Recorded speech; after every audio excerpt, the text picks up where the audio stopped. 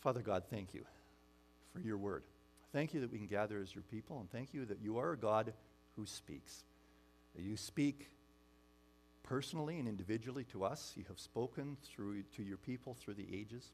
You speak through your word, and your word is not something that is just static, but your Holy Spirit illumines your word to our hearts and minds. So we thank you for that.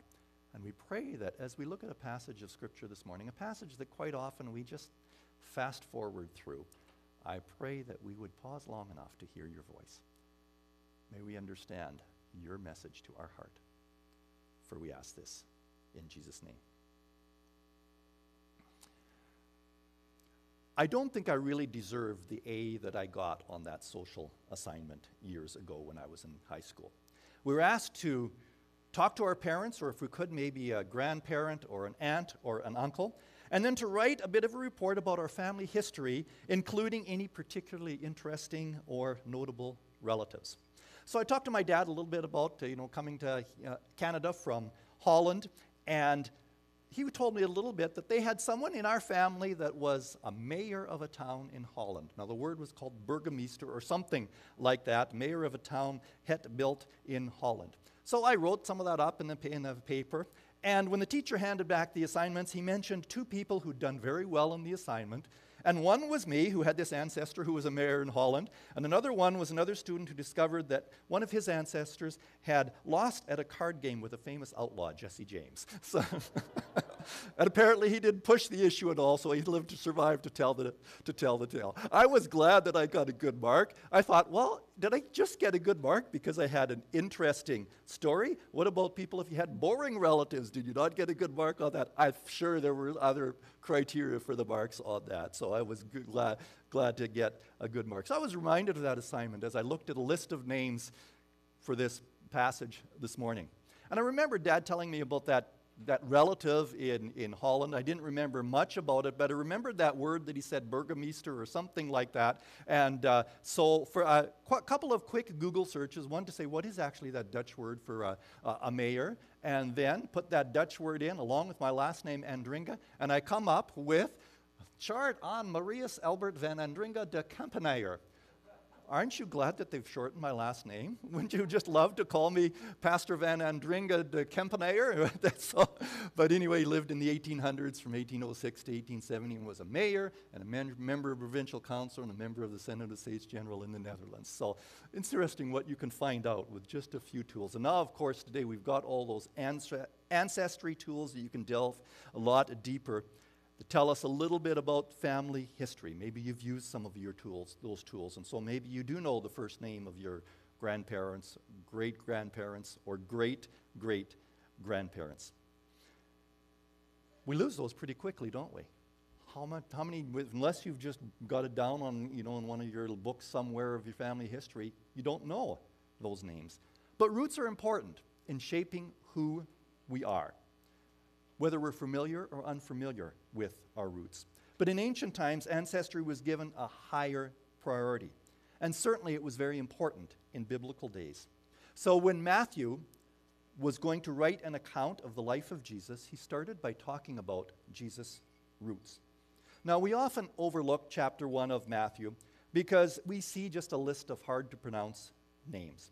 But I want to look at that list today as it contains some fascinating insights. I think Matthew would have gotten A on his assignment as well. Mind you, he was writing with the inspiration of the Holy Spirit, so I guess that helps as, a, as well. I'm starting this short series called The Obscure Messiah. A key purpose of the book of Matthew was to convince people that Jesus of Nazareth was indeed the Messiah. Matthew 16, the famous chapter, Jesus asked his disciples, Who do people say that I am? He'd become a well known teacher, a miracle worker, but they didn't know much about him, and so some speculated that he could be a prophet or Elijah come back to life. But Matthew wants to convince his readers that Jesus is indeed the promised Messiah. So he begins with the list of Jesus' ancestors, and the list demonstrates that Jesus is from the line of promise. In fact, the book of Matthew refers to Jesus as the son of David 10 times, and actually refers to David 17 times. That's very important in the book of, of Matthew. But for many reading the book for the first time, Jesus was to them just a teacher that had been known for a few years, had died an early death at the instigation of the Jewish leaders and at the hands of the Romans. And since that time, there are these stories creeping up, these fantastic stories that he had risen from the dead, and there were people that were following him. And people that were following him that were Jewish were claiming that he was the promised Messiah. So, who was this teacher anyway? That's the question that Matthew addresses throughout his gospel. It's a, it's a book that talks about identity. Now, I'm not going to read all 41 names that are listed in the genealogy, but I'm going to read a good percentage of them, and then we're going to look at those names. So you can follow along in your Bible or on the screen or whatever works best for you. Matthew chapter 1. This is the genealogy of Jesus the Messiah, the son of David, the son of Abraham. Abraham was the father of Isaac, Isaac the father of Jacob, Jacob the father of Judah and his brothers. Uh, Judah, the father of Perez and Zerah, whose mother was Tamar. Perez, the father of Hezron, Hezron, the father of Ram, Ram, the father of Amminadab, Amminadab, the father of Nahshon, Nahshon, the father of Salmon, Salmon, the father of Boaz, whose mother was Rahab, Boaz, the father of Obed, whose mother was Ruth, Obed, the father of Jesse, and Jesse, the father of King David. David was the father of Solomon, whose mother had been Uriah's wife. Solomon, the father of Rehoboam, Rehoboam, the father of Abijah, Abijah, the father of Asa, Asa, the father of Jehoshaphat, Jehoshaphat, the father of Jehoram, Jehoram, the father of Uzziah, Uzziah, the father of Jotham, Jotham, the father of Ahaz, Ahaz, the father of Hezekiah, Hezekiah, the father of Manasseh, Manasseh, the father of Amon, Amon, the father of Josiah, and Josiah, the father of Jeconiah and his brothers at the time of the exile to Babylon, after the exile to Babylon, Jeconiah was the father of Shealtiel, Shealtiel the father of Zerubbabel. And I'm going to skip to verse 16. And Jacob, the father of Joseph, the husband of Mary, and Mary was the mother of Jesus, who is called the Messiah. Thus there were 14 generations in all from Abraham to David, from 14 from David to the exile to Babylon, and 14 from the exile to the Messiah. I think I should get a Christmas bonus just for reading through all those names or something like that, right? You know, so, but uh, so when we read the Christmas story, we often skip the genealogies that are listed in both Matthew and Luke. We focus on the manger scene that's described in Luke, and often we'll import the wise men from Matthew, even though it says that they were at the house and with probably about two years later. These genealogies were important to the original audience. The term Messiah that we still, three times we saw it in that, in that text. That would serve as the headline. I mean, they didn't have the ability to sort of put big, bold font and all of those kinds of things, but that was the headline. The headline on this was the Messiah. The purpose was to validate Jesus' being the right bloodline, having the roots to being the Messiah. But it's written in a way that would immediately both annoy and intrigue those who first read it. First, it's saying with that headline, the Messiah, and it not only verifies the identity of Jesus, it compels the reader to keep reading. We just skim the list of names so we can get to the angel appearing to Joseph and to the visit of the wise men. And then we skip over the story of the babies in Bethlehem. That isn't a very nice story. And we don't know what to make about the excursion to Egypt and then back to, to Nazareth. We're going to look at some of those things in, the, in this obscure Messiah passage as we go through Matthew chapter 1 and 2. But Matthew's introduction his genealogy is far different than the stories, the biographies, the genealogies of most famous and powerful people at the time. You see, in ancient times, history wasn't written by objective reporters. Is that an oxymoron? objective reporters? Uh, even today, we don't have completely objective reporters. But then it was more so the way because history was written by these historians who were paid by a king and that king had the life and death power over his subjects. So if you're writing the story about a king, what would you include? What would you conveniently exclude? And that's how history was written. Ancient histories were written with a huge bias. The triumphs of the king are exaggerated, the defeats are minimized or even conveniently overlooked, and the positive qualities of the king, either real or imagined, are praised, and the flaws are ignored. But Matthew writes this genealogy, and starting from the beginning, he includes details that most authors would omit. Details that you wouldn't include if you're trying to impress people and convert people to your point of view. So let's notice some of those details, and I'm going to just mention them first with a little bit about them, and then we'll ask the question why did he include these details? So, what are some of these details in the story? They're details that for Jewish people reading this would be kind of awkward or kind of embarrassing. First, did you notice how often it mentioned the exile? One of the most disappointing and embarrassing eras in Israel's history. He could have just listed the kings, but twice in the list he brings up the exile and mentions it again and, and anchors his whole genealogy to the time of uh, the, the exile. And all Jews knew that story. If you're trying to impress someone with your roots, you don't remind them of the time when God's chosen people were so disobedient and rebellious that God sent them into exile for 70 years. Now, kids might think they're being harshly punished if they have a 15 minute timeout, or teens might be harshly punished if you take your phone, their phone away for a few hours or for a day. Uh, I heard this week that the best way to punish teens is you don't take their phone away, you take their charger away. And then just see what happens. let's see how long they can last. And yeah, let's see if they, yeah, that. Anyway, sorry, kids, you're, you're just, uh, yeah. So, the people of Israel had a 70 year time out. They were acting so badly. Matthew wants people to let people know that Jesus is a promised ruler. But he also wanted to let them know that he is a ruler like any other ruler. And so he starts, and in this genealogy, he includes details that would make the readers feel awkward, even uncomfortable by pointing to their painful past. So he includes details about the exile. Now, did you notice also as we read through that, that in that there are four infamous women that are included? This was not expected because in that time you usually didn't refer to women when you were writing a genealogy because they didn't have a lot of rights, they didn't have a lot of influence. And if you did include some women, they better be some fairly important and impressive women. So if you were writing a genealogy and writing about the Jewish people, what women would you include? Sarah, the wife of Abraham, who had a baby in her old age, that would be a good one.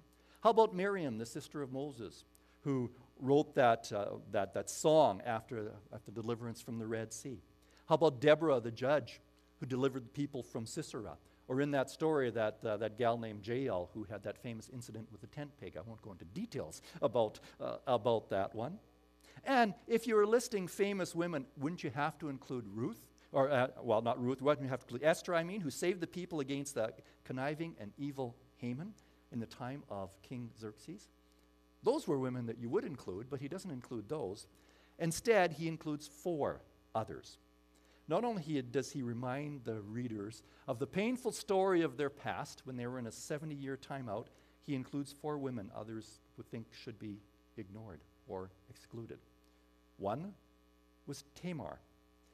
Tamar was the daughter in law of Judah. Judah was one of Jacob's sons. And you read the story, you wonder why Judah at all carries a line of promise. After all, he wasn't the first son, and by his lifestyle, we see he wasn't the finest son. And the story of him and his daughter in law isn't the type of story that you usually read in Sunday school, and you don't even read it in church. So I'm not going to go to Genesis 38 and read the whole uh, details uh, of that story. But suffice it to say that both Judah and his daughter in law Tamar made some poor choices, and as a result of those choices, uh, some twin boys were born, and they became part of the family history. And Matthew draws a big red circle around that scandal described in Genesis 38 not only by saying that Judah was the father of Perez and Zerah, but reminding the people whose mother was Tamar. Okay, how about Rahab? You know the story of Rahab. We know it from the book of Joshua, where she is called Rahab the. I won't fill in the blank, but you know the blank. You know what the word is. Talks about the world's oldest profession. So I think, imagine that you are in heaven and you start meeting biblical characters. So someone introduces you to someone called Malchus, and you start thinking, Malchus, who is that? I know that name. Oh, yes, Malchus, I remember you. You're the guy that got your ear chopped off by Peter when Jesus was arrested. Uh, boy, how, what's your story? How did you end up here in heaven? Oh, and do you have a scar on your ear? What's, how, how did that work out? Wouldn't that be an interesting conversation? And then a little later, you get another conversation, and someone says, Oh, I want you to meet Eutychus. And you think, Eutychus? Who is Eutychus? And you Oh, right. When Paul was, I think it was in Troas, and he was speaking to a group of people, and he was leaving the next day, and he spoke on and on and on past midnight, and with all the candles and lamps in the room, it was getting stuffy. And one guy was sitting by the window, and he fell out the third story window, and he was dead, and Paul resurrected him. You're Eutychus. Wow, interesting. What was it like to be dead? Were you really dead? What happened? Wouldn't those be some interesting conversations? And then another day you meet someone and they say, Oh, I'd like to introduce you to Rahab. And you go, Oh, Rahab, I know that story. You're Rahab the. And do you put your foot in your mouth or do you stop before you give the full title that Scripture gives? Interesting. In the book of Joshua, she's called Rahab the, with the title. In the book of Hebrews, uh, in Hebrews chapter 11, she is listed as a woman of faith, but it still includes the title, Rahab the. And in the book of James, she was considered righteous, providing lodging to the spies. But again, she's called Rahab the. Matthew just calls her Rahab. Now, I'm going to suggest why a little later. We'll get back to that in a, in a minute. Well, next is Ruth. And Ruth, you say, well, at least there's one good story there. I mean, Ruth, isn't that a lovely story? A nice story about faithfulness, Ruth's faithfulness to her mother in law. And in faith, that story is often quoted, or the phrases in there are used at, at, a wedding where you go, I will go, your people will be your, my people, and your God, my God. Isn't that just a lovely story? Well, yes, but there is a backstory. You see, Ruth was not Jewish. Not only that, she was from the people of Moab, a Moabite. The Moabites were descendants of Lot.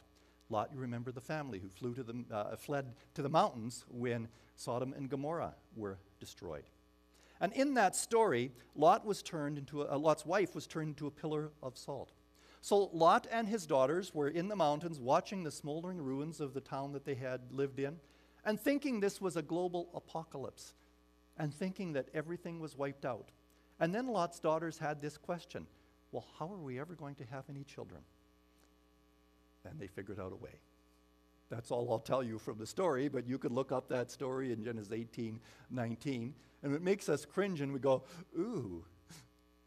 And that story is included by including Ruth, someone who is not Jewish.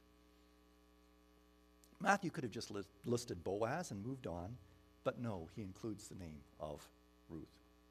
And then the next lady that he includes, he actually doesn't list her by name, but we know the name, don't we? Might have been less embarrassing if, if she had been named. Matthew could have just listed David and Solomon and hurried on with the list, but again, he pauses to say, Remember that story? Uh, this person whose, uh, uh, whose husband was Uriah? And you had that story of David, the famous story of his, most, his failings, a story that includes adultery and murder. And so the people reading audit automatically would have filled in the name of Bathsheba. So, there's some details. Now, other details, when you look, there's a list of kings. But in that list, there's not included just the good kings, but also a number of the evil kings. There are some lists in Israel's history, the history of the nation of Judah, some of the kings that are omitted, but when you look at the entire list, there actually are seven kings that are included that are evil kings in the genealogy.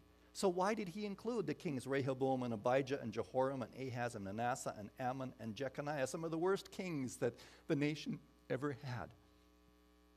So those are some details that the original readers would be looking at this and saying, where on earth is this story going? So why include these details? What was Matthew up to as he was reading this, writing this genealogy in such an odd way? Well, it could have been that it was for the sake, some of it was for the sake of Mary. If you've grown up in the church or if you've been a believer for many years, you've accepted the divinity of Jesus, you believe in the virgin birth. But for people hearing the story the first time, if the story started with Mary, it would be just the story of a young girl getting pregnant before marriage, and it wouldn't be a very convincing start. They'd be skeptical about the angel visit and the explanation of the virgin birth, and they would assume a very ordinary story of poor choices or someone being taken advantage of. And for skeptical readers, the details uh, in this genealogy might provide a more favorable hearing, setting up the story of Mary. It might also be that he intentionally includes people who are Gentiles, because that gives the story a lot broader audience. And it suggests that Jesus is Messiah not only to the Jews, but also came for people who were not Jewish. So that's another reason for um, including these details. Some might be just to raise the profile of women in a time where women didn't have many rights, to be able to say, yes, in Christ there is dignity, there is equality. Foreshadowing what Paul would say a little later in Christ there is no male or female, slave or free. And so he includes women to elevate the position of women. It could also be that he includes them because he is writing a story about grace. The detail includes the dysfunctional part of the Jewish story, very human story. Story including sexual scandal, evil rulers that led them astray, a time when uh, people were disobedient, and it was so prevalent that it required a 70 year punishment to bring people to the, back to the place of restoration. So the story includes not only the proud moments, the golden age of the kings David and Solomon, but some low moments as well. Details they would rather ignore, rather ignore when they tell their story. But those details are part of their story. Just like all of us have details that are part of our story that we would rather exclude. Matthew writes about Jesus, who, the Messiah, who would be called Jesus because Jesus would save people from their sins. He's not just a political savior who would change the national circumstances, he is a personal savior who would address the condition of people's hearts, who would address their messed up lives. The story of roots tells the, the readers that the Messiah came for imperfect people who had messy stories. So, those are some reasons. One that I really kind, find kind of intriguing is it could be that he includes these details because it becomes a springboard to his own personal testimony. Matthew is a book about identity. The identity of the Messiah. Jesus said, Who do people say that I am? And he shapes this book about identity to talk about the Messiah and to ask people about their own identity and, in a way, to share a little bit about his own story. Remember what I said about Rahab? Was identified in the book of Joshua and Hebrews and James as Rahab the. Matthew breaks form and just calls her Rahab. Is he saying something about her identity? About the Messiah's power to change who we are? What makes me wonder that is that when you read through the book of Matthew, there is another unflattering title that is used a number of times in the book of Matthew. You know what that title is? Tax collector. Matthew, tax collector.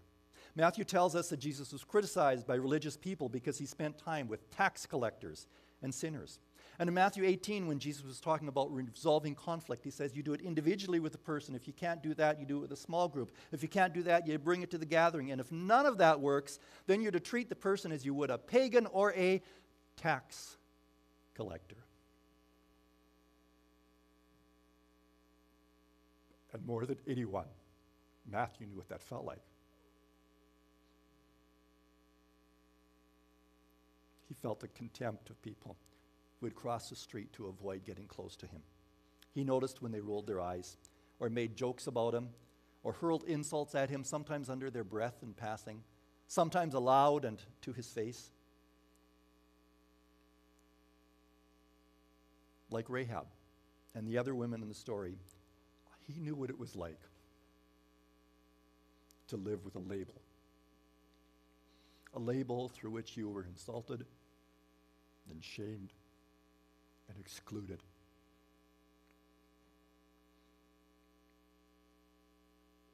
And later in the book of Matthew, he writes about Jesus talking to people who are criticizing him.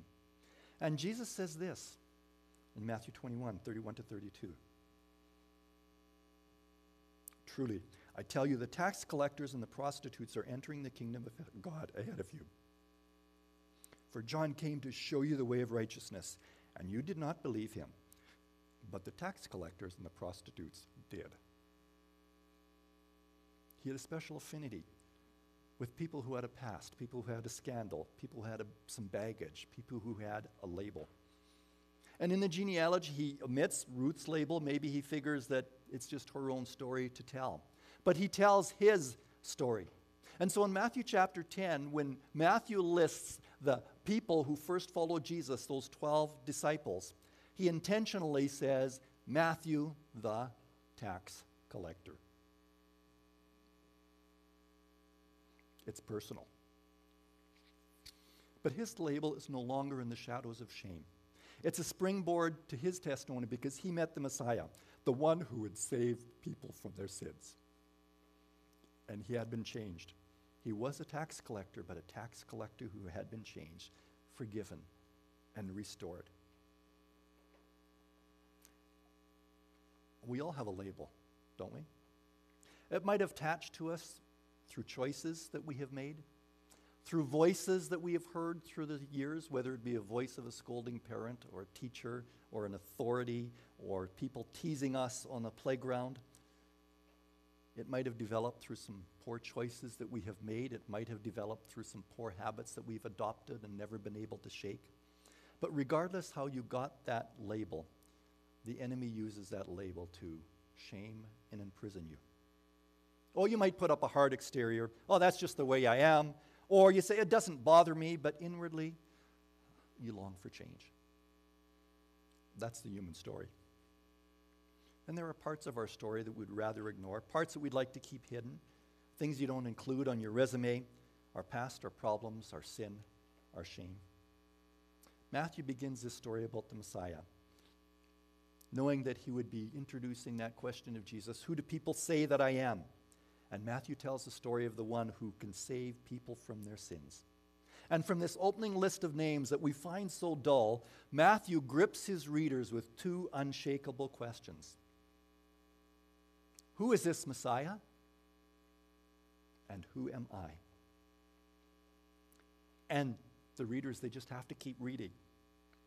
Because as they do, they come to grips with that label that's hanging over their own head. And they're intrigued by this Messiah. And like Matthew, are compelled by the call of the Messiah who said, Follow me. Have you come to grips with your label? Have you answered the call to follow Jesus, the Messiah? Have you allowed him to erase that label, to take away the sting of shame, to turn into a testimony of grace? Jesus came to save people from their sins. Now, we often focus on what Jesus did to save people from the penalty of their sins, the power of Jesus to give us eternal life, and we should emphasize that. But Jesus also came to save us from the power of our sins, to free us from the labels that, through our entire lives, have imprisoned us, so that we can enjoy the abundant life to which He calls us. So, have you come to grips with your label? Have you met the Messiah who can release you from shame and regret and the ingrained sin patterns, sometimes from your roots, sometimes from your choices, sometimes from your habits? Jesus is the Messiah, the one who came to save people from their sins. And he said, Who do people say that I am? And in asking that question, ask each one of us to come to grips with Who am I? What's my identity? And he invites us to find our identity in him a follower of the Messiah, a child of God.